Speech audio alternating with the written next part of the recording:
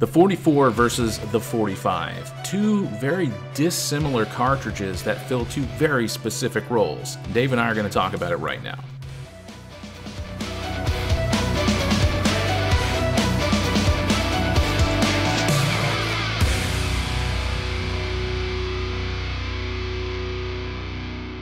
Hello, friends and lovers. This is Dave Trillo, and you're listening to the Ammunition Guide podcast brought to you by none other than ammo.com. Now, I know what you're thinking. Did we go ahead and compare two other apples to oranges cartridges? Well, to tell you the truth, and all this excitement, I kind of lost track myself. But being as this is ammo.com, the best online ammo man- retailer in the world, and would blow your head clean off with information, you've got to ask yourself one question Do you feel like listening to some quality online content? Well, do you, friend? Dave, that has to probably be the best intro I have ever heard. That uh, if for all of our uh, our boomers out there, they all know what that is. That's a Dirty Harry reference right there. And uh, if you like shooting big calibers and you need to get some ammo, make sure you click that link down in the description or the pinned comment. Get your free $20 off coupon to ammo.com. But yeah, the 44 Magnum, obviously probably the most iconic movie scene, at least cop movie scene in history, in my opinion, with none other than Dirty Callahan and the Model 29 Smith & Wesson. Chris, I was just saying to you that if not for Dirty Harry, I don't know if people would even consider the 44 Magnum as a self-defense cartridge.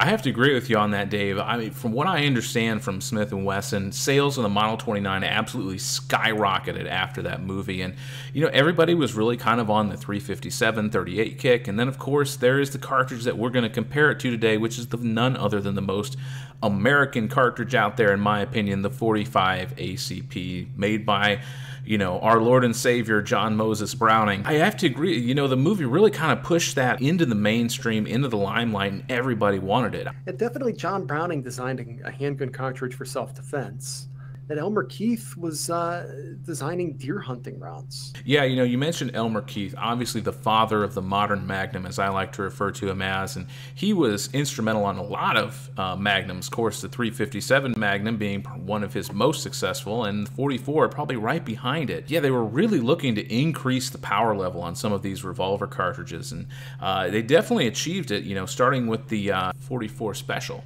definitely we have a lot of our modern cartridges thanks to him and the 44 Magnum being one of them really pushed the limits of power on this and almost double the kinetic energy of a 45 ACP on a 44 Magnum. That's some power right there. Now the 45 ACP is no hothouse flower. That's a 230 grain bullet propelled to about 820 feet per second to give us some muzzle energy in the ballpark of right around the 350 400 foot pounds depending on your load which is more than ample for personal protection. Oh, yeah. Plus, plus, you get the advantage of a semi automatic magazine fed firearm, which of course reloads more quickly and uh, it's just a little easier to operate all around. Then the 44 mag, Chris, what kind of stats are we talking about for that? Usually you're looking at something around like a 240 grain. Uh, and if we're looking at like a jacketed hollow point, probably somewhere in the round of almost 1200 feet per second and right around 750 foot pounds or more, depending on your load. And that's overkill. Yeah, that, that's the one thing that I think is really good about the 45 ACP is not only is it shooting at subsonic speeds, but uh, you're going to have less likelihood of over penetration. Whereas with something big like a 44 mag, especially in a self self defense situation, that's something you really got to worry about because you know every time you squeeze the trigger, that bullet has a lawyer attached to it, uh, and that was something that a instructor told me once, and it has stuck with me for a long time. So always be aware of what's behind your target if you ever have to employ a 44 Magnum in self defense because that that thing is cooking to say the least. Now, of course, not all people are uh, you know worried about the two-legged variety of threat, and Fair. I think that's where the 44 Magnum kind of becomes more suitable for self-defense when you're uh, shooting people who might steal your picnic basket or or maul you. Yeah, bear defense is definitely where the 44 mag shines. It it has the power to punch through that really thick hide and the bones that uh, bears present. Definitely something you need to be prepared for. And a 44 mag has the power to push through it. Now, with something like that, you're going to want a hard cast bullet, typically lead. And I know a lot of people are finicky about shooting lead You don't need to worry about it, especially with today's hard cast lead bullets, because you need that penetration. You need to penetrate deep into that animal because a bear is considerably bigger than uh, a two legged varmint. Let's put it that way.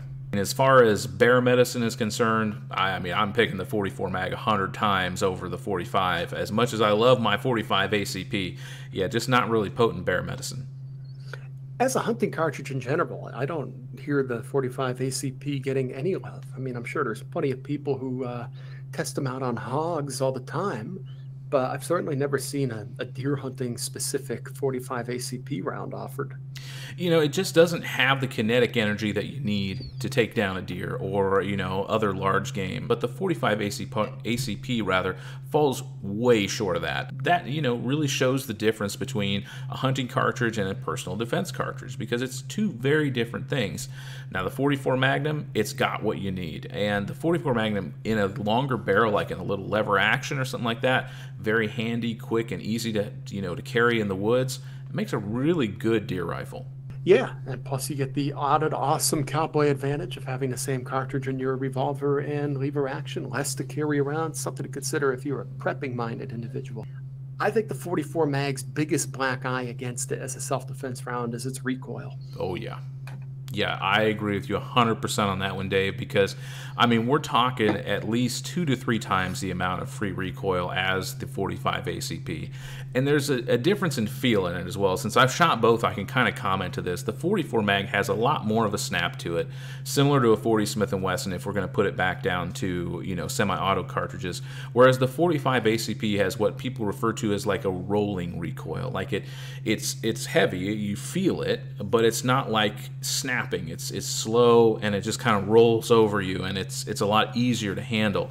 And that's you know why the 45 ACP is as popular as it is with self-defense because you can get that bigger bullet, that 0.45 inch bullet, and you get pretty quick follow-up shots. Whereas with the 44 mag, it's going to take you at least twice as long to get back on target. Yeah, plus you have the added benefit of uh, 45 semi-auto's spring absorbing some of that recoil. Yep uh, revolver just ain't going to do that to you. It's just the power level between these two. You stick them next to each other, and you can see, I mean, the difference. The 44 Magnum just towers over the 45, and that's, you know, one of the reasons why the recoil is so heavy. This brings us to, I think, you know, we talked about recoil. We do got to point out that Dirty Harry himself confessed to using special light loads in yep. Magnum Force. So even he wasn't firing the full power hunting ammunition. And that's, I think, a good thing to bring up. And this can honestly segue into you know differences in reloading. There's really a lot of flexibility with the 44 Magnum. The case is so big, and with uh, you know smokeless powder, you don't need a lot of it. Especially all my hand loaders out there will be nodding their heads like, yeah, you don't need as much smokeless as you would with something else.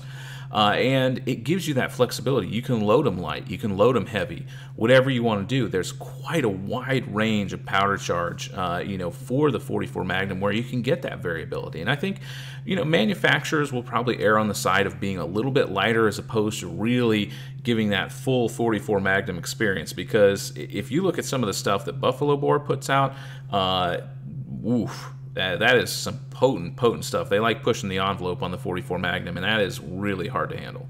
And you know the beauty of the 44 mag, just like the 357, is you can always run 44 special in it, uh, which is going to be a lighter load. It's going to be easier to handle, won't penetrate as much, but still has more than enough power for any self-defense situation. And if oh, you yeah. want to up it to that 44 mag, you've got the capability. Yeah, I mean, if honestly, 44 Special is so capable in its own right that I think you may just want to get a Charter Bulldog if you want to commit to that.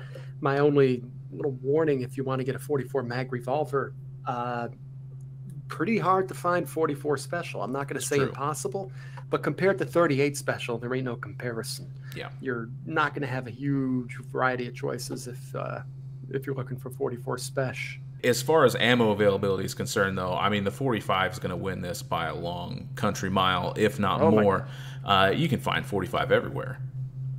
I mean, this was the uh, the standard issue sidearm for United States military from yep. 1911 until uh, the 80s. What was it? The 80s, 1986. Mm-hmm. I think they replaced yep. it with the nine millimeter. Yep. So you got over 70 years of Americans learning how to, you know, fire a handgun with this round. It's it's just not going to go away. You're not going to top that. It's always going to be super popular. Let's sum it up here, uh, Dave. What are your final thoughts on the 45 and the 44 mag? simply put, 44 mag, too powerful for self defense. It's going to be too much recoil, and God help your ears if you fire the thing indoors. Oh, yeah. If you're going through bear country, it's still a no brainer. You want the 44 mag, or maybe something even a little more powerful. Uh, you know, because bears are very scary. Uh, for self defense, get a 1911. You're going to be the coolest cat on the street, and you'll be as well armed as your great grandpa was when he was in France.